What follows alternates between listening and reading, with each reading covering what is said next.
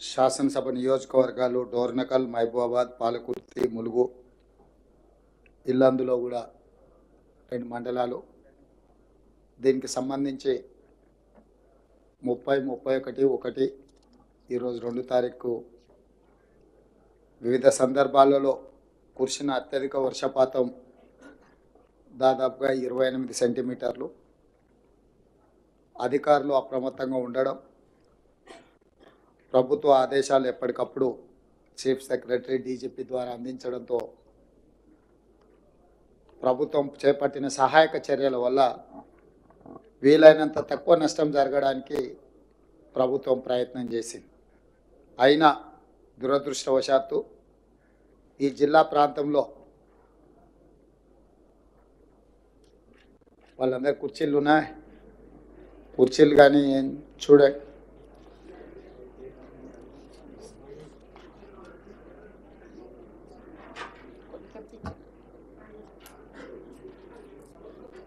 ప్రభుత్వం ముందస్తుగా అప్రమత్తంగా జాగ్రత్తగా వ్యవహరించినా కూడా ఈ జిల్లా ప్రాంతంలో ప్రాణ నష్టం ఆస్తి నష్టం ప్రభుత్వ ఆస్తులు దెబ్బతినడం ఇవన్నీ కూడా జరగడం బాధాకరం. అందుకే సచివాలయం నుంచి కమాండ్ కంట్రోల్ రూమ్ నుంచి ప్రత్యక్షంగా అధికారులు మంత్రులు నేను పర్యవేక్షిస్తూ అన్ని రకాల సహాయక చర్యలు చేపట్టి రాష్ట్రంకు వచ్చిన విపత్తు నుంచి రాష్ట్రాన్ని కాపాడే ప్రయత్నం చేస్తూనే ఉన్నాం. ఈరోజు అందులో భాగంగా మహబూబాబాద్ జిల్లా కలెక్టర్ కార్యాలయంలో అధికారుల నివేదికను తీసుకొని అధికారులకు అదేవిధంగా జిల్లాకు సంబంధించిన మంత్రులు ఇన్ఛార్జ్ మంత్రి గారికి సూచనలు చేస్తూ సహాయక చర్యలు చేపట్టడానికి ఈ సమావేశంలో నిర్ణయించడం జరిగింది. ఈ జిల్లా పరిధిలో నలుగురు మృతి చెంది ఇద్దరు ఈ జిల్లాకు సంబంధించిన వాళ్ళు ఇద్దరు పక్క జిల్లాకు సంబంధించిన వాళ్ళు నలుగురు చనిపోవడం బాధాకరం.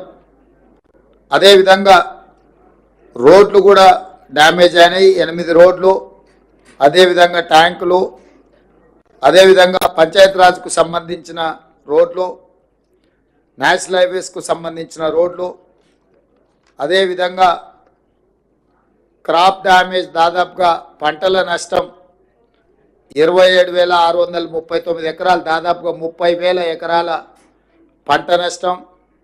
అదేవిధంగా పశు సంపద పశువులు కావచ్చు బర్రెలు కావచ్చు మేకలు కావచ్చు గొర్రెలు కావచ్చు ఇవన్నీ కూడా దాదాపుగా రెండు వందల పదిహేను చనిపోవడం అదేవిధంగా నలభై ఐదు ట్యాంకులు తెగిపోవడం అదేవిధంగా పక్కా ఇల్లు ఒక మూడు పాక్షికంగా డ్యామేజ్ అవ్వడం ఒక పదిహేను ఇల్లు కచ్చా హౌజ్లో ఒక పదిహేను ఫుల్గా డ్యామేజ్ అవ్వడం తొంభై ఆరు ఇల్లు పాక్షికంగా డ్యామేజ్ అవ్వడం అదేవిధంగా పవర్ విద్యుత్తు నూట ఆరు గ్రామాలలో విద్యుత్తు అంతరాయం జరగడం అదేవిధంగా మహబూబాబాద్ మున్సిపాలిటీలో దాదాపుగా వివిధ ప్రాంతాలలో రోడ్లు పదకొండు పన్నెండు కోట్ల రూపాయలకు సంబంధించిన అంచనాలు ప్రాథమికంగా అందుతూనే మున్సిపాలిటీలో కూడా రోడ్లు డ్యామేజ్ అవ్వడం వీటన్నిటినీ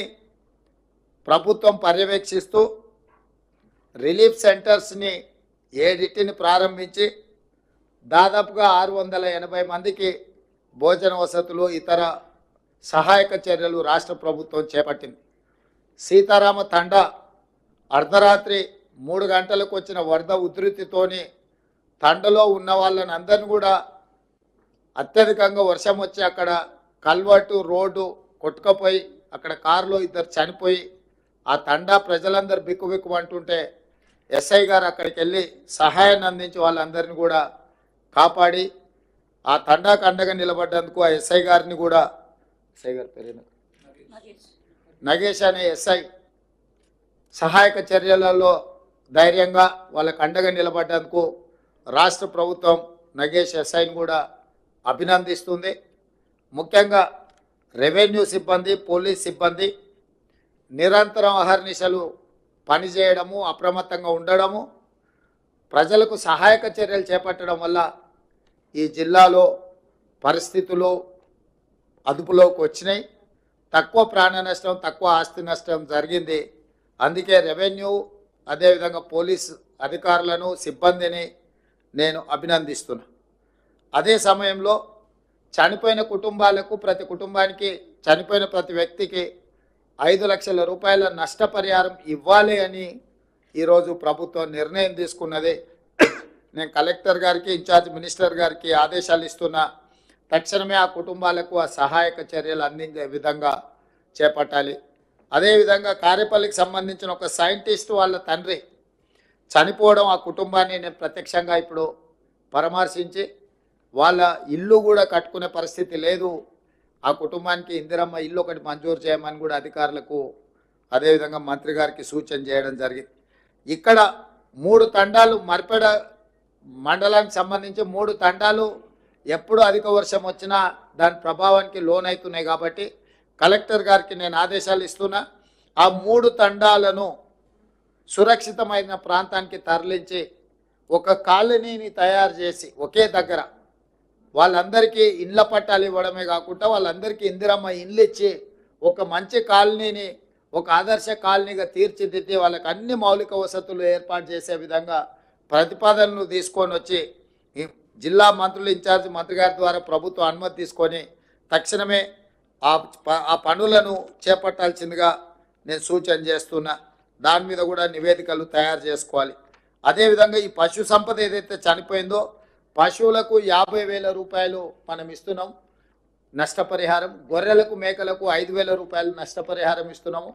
తక్షణమే ఆ నష్టపరిహారాన్ని కూడా అంచనా వేసి అగ్రికల్చర్ అండ్ రెవెన్యూ సిబ్బంది వాళ్ళు వెళ్ళి ఈ నష్టాన్ని కూడా ఏం జరిగిందో యానిమల్ హస్బెండరీ డిపార్ట్మెంట్ను కూడా ఇన్వాల్వ్ చేసి ఈ నివేదికలు తయారు చేసి వాళ్ళకి నష్టపరిహారం ఇవ్వండి. అదేవిధంగా దాదాపుగా ముప్పై వేల ఎకరాల పంట నష్టం అంటున్నారు. అగ్రికల్చర్ సిబ్బందిని కూడా గ్రామాలకు వెళ్ళి ఇంకా ఏమైనా అధికంగా ఉందా? ప్రజలకు ఏ నష్టం జరిగింది? రైతులకు తక్షణమే చూసి ప్రతి ఎకరాకు పదివేల రూపాయల నష్టపరిహారానికి ప్రతిపాదనలు పంపించి తక్షణమే సహాయక చర్యలను కూడా చేపట్టండి. అదేవిధంగా ఇప్పుడు ఈ రోడ్లకు సంబంధించి కానీ హౌజెస్కు సంబంధించి కానీ ప్రధానమంత్రి ఆవాస్ యోజన కింద ఇట్లా ప్రమాదాలు జరిగినప్పుడు ఈ ఇండ్లు పోతే కేంద్ర ప్రభుత్వం నుంచి కూడా మనము నష్ట సహాయాన్ని నష్ట వాళ్ళకు సహకారం అందించడానికి నివేదికలు పంపించవచ్చు కేంద్ర ప్రభుత్వం నుంచి కూడా ఏమేమి మనము నష్టపరిహారం దీనికి పొందవచ్చో నివేదికలు తయారు చేయండి. కేంద్ర ప్రభుత్వానికి కూడా నివేదించడానికి. మనం నిన్ననే ప్రధానమంత్రి గారికి లేఖ రాష్ట్రము తెలంగాణ రాష్ట్రంలో వచ్చిన ఈ ఉపద్రవము జాతీయ విపత్తుగా ప్రకటించాలి. తక్షణమే ఐదు వేల నాలుగు వందల ముప్పై ఎనిమిది కోట్ల రూపాయల నష్టం జరిగిందని తాత్కాలిక అంచనా రాష్ట్ర ప్రభుత్వ యంత్రాంగం అంచనా వేసిండ్రు. ఈ అంచనాను పరిగణలోకి తీసుకొని రెండు వేల కోట్ల రూపాయలు తక్షణమే తెలంగాణ రాష్ట్రానికి విడుదల చేయండి. అదేవిధంగా ఈ తెలంగాణ రాష్ట్రంలో జరిగిన నష్టాన్ని ప్రాణ నష్టాన్ని ఆస్తి నష్టాన్ని చూడడానికి ప్రధానమంత్రి గారిని కూడా ఆహ్వానించడం ఎందుకంటే ప్రధానమంత్రి గారు ప్రత్యక్షంగా తెలంగాణ రాష్ట్రంలో జరిగిన నష్టాన్ని పరిశీలిస్తే వారు అధికంగా నిధులు ఇచ్చే తెలంగాణ రాష్ట్రాన్ని ఆదుకోవడానికి అవకాశం ఉంటుంది కాబట్టి తెలంగాణ రాష్ట్ర ప్రభుత్వం తరఫున ప్రధానమంత్రి గారిని కూడా మనం ఆహ్వానించడం జరిగింది. ఒకవేళ వారు పర్యటనకు వస్తే వారికి నివేదికలు అందించడానికి మహబూబాబాద్ జిల్లాలో జరిగిన అంచనాలను పూర్తి స్థాయిలో నివేదికలు తయారు చేసి ప్రభుత్వానికి పంపాల్సిందిగా ఈరోజు నేను కలెక్టర్ గారికి ఆదేశాలు జారీ చేయడం జరుగుతుంది. అదేవిధంగా ఇప్పుడు మీరు ఇచ్చిన నివేదిక చాలా వరకు డీటెయిల్గా ఉన్నది. ఇప్పుడు జరిగిన నష్టాన్ని మీరు ఒక కోణంలో చెప్పారు కానీ వాస్తవంగా ఇప్పుడు వర్షం తగ్గడం వరదలు తగ్గడం వరదలు నియంత్రణలోకి రావడము ఇప్పుడు విష జ్వరాలు ప్రబలి అంటు రోగాలు పెరిగే ప్రమాదం ఉంది. ఇప్పుడు నిజమైన సేవా కార్యక్రమాలు మొదలుపెట్టాలి మెడికల్ అండ్ హెల్త్ డిపార్ట్మెంట్ని తక్షణమే తండాలు కానీ గ్రామాలు కానీ లేకపోతే మహబూబాబాద్ మున్సిపాలిటీలో కానీ బురద ఏదైతే వచ్చిందో వరదల వల్ల తక్షణమే ఆ బురదను తొలగించడానికి అవసరమైన సహాయక చర్యలు రెవెన్యూ సిబ్బంది ఇతర శాఖల సిబ్బంది మున్సిపల్ శాఖ సిబ్బంది తక్షణమే సహాయక చర్యలలో పాల్గొనాలి. అదేవిధంగా ప్రజలకు ఇళ్ళలో వచ్చిన బురద కడుక్కోవడానికి నీళ్ళు కూడా అత్యధికంగా అందుబాటులో ఉంచే విధంగా ఒకవేళ మీకు నల్లాల ద్వారా ఇవ్వగలిగితే ఫుల్ టైం వాటర్ ఇవ్వండి. అట్లా లేకపోతే ట్యాంకర్ల ద్వారా నీటిని ఇస్తే ప్రజలు ఆ బురదంతా కడుక్కోవడానికి అవకాశం ఉంటుంది. అదేవిధంగా రోడ్ల మీద కూడా నీళ్ళ ట్యాంకర్లను నీళ్ళు కొట్టడం ద్వారా ఈ బురదను మనం తొలగిస్తే అంటు రోగాలు ప్రబలడానికి తక్కువ అవకాశం ఉంటుంది. ఈ క్లీన్ చేసిన తర్వాత బ్లీచింగ్ పౌడర్ కానీ దోమలు రాకుండా దోమల నివారణ చర్యలు ఏమేమి తీసుకోవాలనో సంబంధిత శాఖ అధికారులను medical and health health and municipal శాఖకు సంబంధించిన అధికారులను కూడా అప్రమత్తం చేసి ఇతర ప్రాంతాల నుంచి ఎవరైనా అధికారులు ఉంటే కూడా అవసరమైతే అవసరం అత్యవసరంగా ఇటు వాళ్ళని తెచ్చుకొని వాళ్ళని కూడా మీరు వినియోగించుకొని ఈ సహాయక చర్యలలో కూడా మీరు పాల్గొనాలి. నేను స్పష్టంగా జిల్లా ఇన్ఛార్జ్ మంత్రి గారికి సూచన చేస్తున్న అధికారులకు ఆదేశాలు ఇస్తున్నా ఎక్కడైతే ఈ నష్టం జరిగిందో ఎక్కడి ప్రజలకైతే కష్టం వచ్చిందో ఇతర ప్రాంత అధికారులను మీరు తీసుకోండి. పోలీస్ సిబ్బంది కూడా నేను సూచన చేస్తున్నా ఇతర పోలీస్ స్టేషన్లలో ఉన్న సిబ్బందిని కొంతమేరకు ఐజీ గారికి కూడా నేను ఆదేశాలు ఇస్తున్నా. మీరు అవసరమైన మేరకు పోలీసులను రీ అంటే అత్యవసరంగా ఏమైనా అవసరమైతే వాళ్ళని డిప్లాయ్ చేసి ప్రజలకు కంప్లీట్గా అందుబాటులో ఉండి వాళ్ళకు సహాయక చర్యలు చేపట్టడానికి అవసరమైన సహకారాన్ని రెవెన్యూ డిపార్ట్మెంట్తో కోఆర్డినేట్ చేసుకుంటూ లోకల్గా మీరు పర్యవేక్షించాల్సిన అవసరం ఉన్నది. దాని మీద కూడా మీరు ప్రత్యేకంగా దృష్టి పెట్టండి. ఈరోజు ప్రభుత్వము అన్ని రకాలుగా ముందస్తుగా వాతావరణ శాఖ నుంచి నివేదికలు తెప్పించుకొని ముందస్తుగా ఈ నివేదికలన్నీ తెప్పించుకొని ఎక్కడైతే అధిక వర్షపాతం కురవబోతుందో ఒక అంచనాకు వచ్చే అధికారులను అందరిని అప్రమత్తం చేసి ఇరవై నాలుగు గంటలు పర్యవేక్షించడం వల్ల ఈరోజు చాలా వరకు నష్టాన్ని తగ్గించగలిగినాం. నూటికి నూరు శాతం మనం నివారించాలని అనుకున్న ప్రకృతి ఊహించని విధంగా చేసిన దాడితోని కొంత నష్టం జరిగింది. నష్టం జరిగిన వాళ్ళకి ఇప్పుడు సహాయాన్ని అందించే కార్యక్రమం ప్రభుత్వం చేపడుతుంది. అదేవిధంగా చాలా దగ్గరలో విద్యుత్తు లైన్లు కూలిపోయినాయి. వాటిని ఎంబడే విద్యుత్ శాఖ వాళ్ళు కూడా రిస్టోర్ చేయాలి. టెంపరీ రిస్టరేషన్ ఒక భాగము. పర్మనెంట్గా ఇప్పుడే నేను అక్కడ మీరు డిస్ప్లేలో చూసిన ఒక సబ్స్టేషన్లకు మొత్తం నీళ్ళు వచ్చినాయి. Thirty three by eleven KVA substation అనుకుంటా. తక్షణమే విద్యుత్ శాఖ కూడా దానికి సంబంధించిన నిర్ణ పునరుద్ధరణకు అవసరమైన పోల్స్ కానీ ట్రాన్స్ఫార్మర్లు కానీ విద్యుత్ లైన్లు వేసుకోవడానికి కానీ అవసరమైన మొత్తం సామాగ్రిని మీరు సమకూర్చుకొని తక్షణమే దాన్ని కూడా మీరు పరిష్కరించుకోవాలి. ఈరోజు ఇప్పటి వరకు మీరు పూర్తి స్థాయిలో ప్రజలకు సహాయాన్ని అందించడంలో అందుబాటులో ఉన్నారు. ఇక ముందు ఈ విష జ్వరాలు కానీ ఇక్కడ జరిగిన నష్టాన్ని కానీ నష్టానికి నష్ట పరిహారం ఇవ్వడానికి సంబంధించిన నివేదికలు కూడా పక్కాగా మీరు ఏర్పాటు చేసుకోవాలి. అదేవిధంగా సీతక్క చెప్పినట్టు కలెక్టరేట్లో ఎక్కడెక్కడ ప్రమాదాలు జరుగుతున్నాయి ప్రమాదాలు జరగడానికి అవసరమైన విధంగా ఒక బ్లూ బుక్ తయారు చేసుకోండి మీరు. ఈ బ్లూ బుక్లో గతంలో జరిగిన ప్రమాదాలు ఆ ప్రమాదాలకు మీరు చేపట్టిన సహాయక చర్యలు భవిష్యత్తులో ఏమైనా జరగబోతుందా అనే దాని మీద కూడా కలెక్టరేట్లో ఒక నివేదిక పర్మనెంట్గా పెడితే రాబోయే బదిలీ మీద కొత్తగా వచ్చే అధికారులకు ఎప్పటికీ ఆ నివేదిక అందుబాటులో ఉంటుంది. ఎప్పుడైనా ఇట్లాంటి వాతావరణం ఉందంటే ఆ- బుక్ రెఫరెన్స్ కింద పనికొస్తుంది.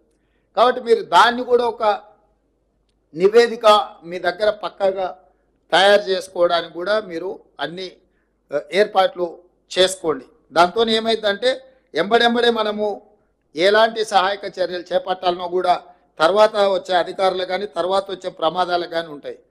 చివరగా ఈ మహబూబాబాద్లో చాలా చెరువులు ఆక్రమించుకున్నారని స్థానిక ఎమ్మెల్యే గారు చెప్పారు.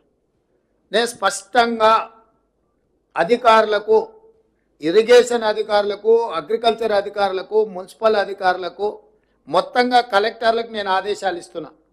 హైదరాబాద్లో ఏ విధంగా అయితే లేక్ ప్రొటెక్షన్ కోసం మనం హైడ్రా పెట్టి ఒక ప్రత్యేకంగా డ్రైవ్ మొదలుపెట్టినామో కొంతమంది స్వార్థపరులు ఈ చెరువులను ఆక్రమించుకొని వాళ్ళు ఇల్లు కట్టుకోవడము ఫామ్ హౌస్లు కట్టుకోవడమో లేకపోతే ఆ స్థలాలను ఆక్రమించి లేఅవుట్లు వేసి అమ్ముకోవడం ఏదైతే చేస్తున్నారో ఇది క్షమించరాని నేరము.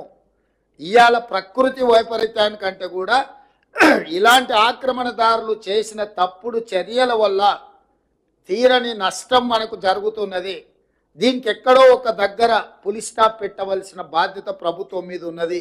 అందుకే ఎంత ఒత్తిడి వచ్చినా వెనక్కి తగ్గకుండా హైడ్రాన్ తీసుకొచ్చి అధికారులను అప్రమత్తం చేసి ప్రభుత్వం దగ్గర ఉన్న లేక్లకు సంబంధించి చెరువులకు సంబంధించిన వివరాలను సేకరించి full tank level buffer zone అదేవిధంగా క్యాచ్మెంట్ ఏరియాలో అంటే నాలాలు ఏవైతే ఆక్రమించుకున్నో వాటి అన్నిటిని కూడా తొలగించే కార్యక్రమం చేపట్టినాం. ఇవాళ ఇది జిల్లాలకు కూడా విస్తరించాలి అని చెప్పి డిమాండ్ వస్తుంది. నేను అనేది ఏంటంటే హైదరా హైదరాబాద్ పరిమితిలో ఒక ఏర్పాటు చేసిన యంత్రాంగము. జిల్లాలలో కూడా మీరు ఇట్లాంటిది ఒక సిస్టమ్ని ఎవాల్వ్ చేసుకోండి. ఎవరున్నా తొలగించాల్సిందే. ప్రకృతి మీద మనం దాడి చేస్తే ప్రకృతి మన మీద దాడి చేస్తుంది. ఈ గుణపాఠం జరిగిన సంఘటనల నుంచి మనం నేర్చుకోవాలి.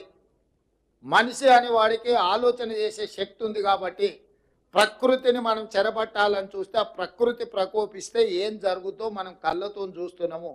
అది ఉత్తరాఖండ్ కావచ్చు లేకపోతే తెలంగాణ కావచ్చు విజయవాడ కావచ్చు లేకపోతే హైదరాబాద్ కావచ్చు. ఎక్కడైనా ప్రకృతి మీద మనం దాడి చేస్తే అది తప్పకుండా దాని యొక్క దుష్ఫలితాలు మనం చవి చూడవలసిన పరిస్థితి ఉంది. అందుకే నేను స్పష్టంగా అధికారులకు ఆదేశాలు ఇస్తున్నా. నేను ఎంక్వైరీ కూడా ఆర్డర్ చేస్తా. రాష్ట్రం మొత్తం మీద కూడా చెరువుల ఆక్రమణ మీద స్పెషల్ డ్రైవ్ చేపడతా. ఎవరైనా వాళ్ళు ప్రజాప్రతినిధులు అయి ఉండొచ్చు లేకపోతే ఇతరులు అయి ఉండొచ్చు లేకపోతే సమాజంలో బాగా ఇన్ఫ్లుయెన్స్ ఉన్న వాళ్ళు అయి ఉండొచ్చు. మీరు ఇట్లాంటివి ఏమైనా చేస్తే మీరే స్వయంగా వాటిని సరెండర్ చేస్తే అది మీకు గౌరవంగా ఉంటుంది ప్రభుత్వానికి వెసులుబాటుగా ఉంటుంది. అట్లా అట్లా కాకుండా ఏదైనా జరిగితే మాత్రం ప్రభుత్వం కఠినంగా చర్యలు తీసుకోవడానికి వెనక్కి తగ్గదు. ఏ ఒత్తిడి వచ్చినా ప్రభుత్వం తట్టుకోవడానికి సిద్ధంగా ఉన్నది. ఇట్లాంటి విషయాలల్లా ఎక్కడ కూడా ప్రభుత్వము వెనక్కి తగ్గదు. కాబట్టి ఈనాడు ఈ చెరువులకు సంబంధించి కుంటలకు సంబంధించి కాలువలకు సంబంధించి నాళాలకు సంబంధించి స్పష్టమైన చర్యలు తీసుకోవాల్సిన అవసరం ఉన్నది.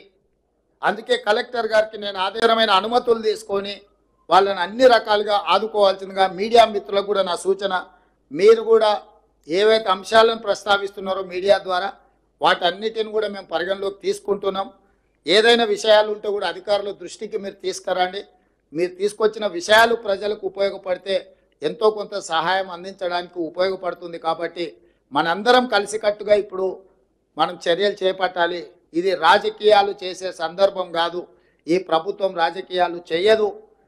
బురద రాజకీయాలు వరద రాజకీయాలకు ఈ ప్రభుత్వానికి అసలు ఎలాంటి ఇట్లాంటి సందర్భాన్ని రాజకీయాలకు వాడుకోవాలన్న ఆలోచన లేదు.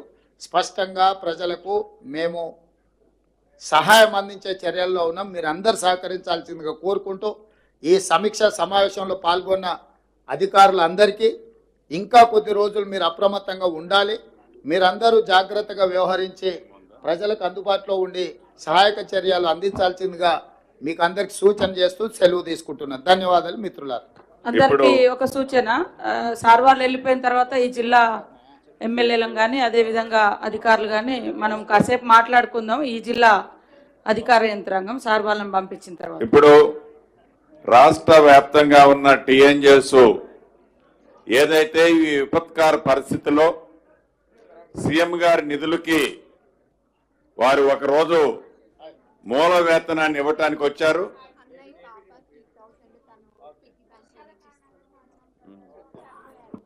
వారు రావటం జరిగింది.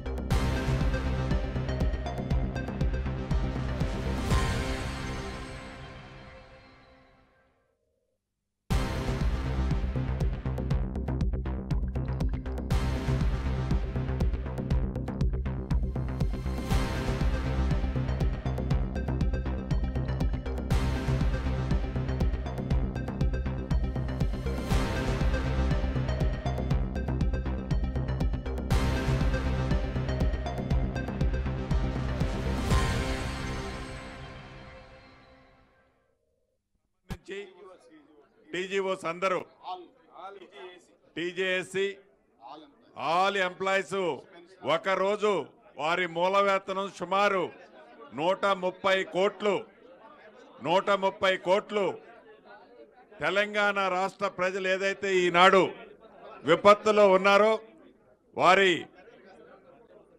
విపత్తులో ఉన్నవారికి సీఎం గారి నిధుల నుంచి సీఎం గారి నిధుల్లో జమ చేయటం జరిగింది. మనస్ఫూర్తిగా గౌరవ ముఖ్యమంత్రి గారి పక్షాన ఈ రాష్ట్ర ప్రభుత్వ పక్షాన ఈ సాయం అందించిన ఉద్యోగస్తులందరికీ అభినందనలు కృతజ్ఞతలండి. Thank you very much Telangana ప్రభుత్వ ఉద్యోగులు ఒక్కరోజు మూల వేతనం నూట ముప్పై కోట్లు అందించడం వాళ్ళ యొక్క మానవత్వానికి ఇది ఒక ప్రతీక. మనస్ఫూర్తిగా ఉద్యోగులందరినీ తెలంగాణ రాష్ట్ర ప్రభుత్వం తరఫున అభినందిస్తున్నా. మళ్ళీ మిమ్మల్ని అందరినీ నేను సెక్రటేరియట్లో పర్సనల్గా పిలిచి మీ అందరినీ కలిసి మీతో మాట్లాడతాను. ఇక్కడ అంతా హడావిడి ఉన్నది. మళ్ళీ సెక్రటేరియట్ మిమ్మల్ని అందరినీ పిలుచుకుంటా రెండు మూడు రోజుల్లో మీ అందరితో పర్సనల్గా కూర్చొని నేను మాట్లాడతాను. ధన్యవాదాలు.